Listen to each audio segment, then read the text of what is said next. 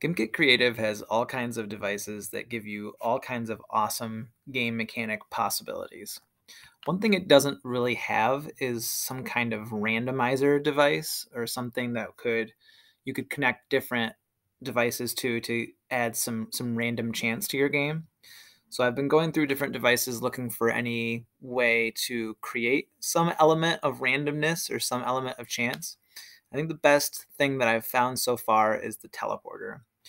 The element of randomness in the teleporter is that you can set up a teleporter to teleport you to any other teleporter device in a certain group.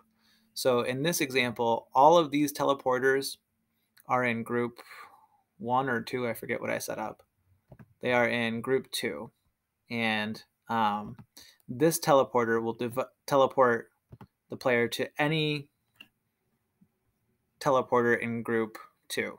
That's the target group here. So the game randomly decides which teleporter to send you to.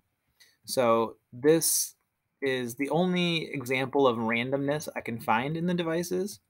And so um, a way to take advantage of this is to set up different secure spaces. Um, so in this example, I have this teleporter will randomly pick one of these rooms to teleport me into. Each room has a button, and each button is mapped to an item.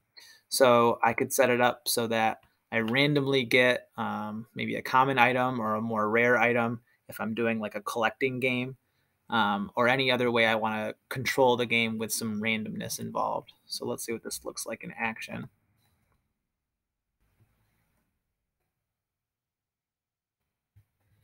Go over to my area.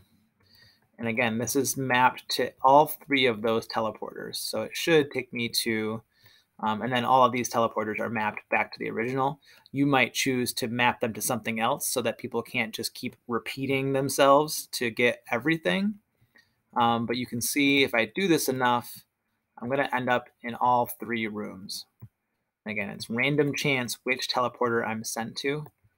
So I can add that little bit of chance in my game so that people might end up getting some rare items. Now, if I go up to a button get an item, um, and I might choose to set up those items again.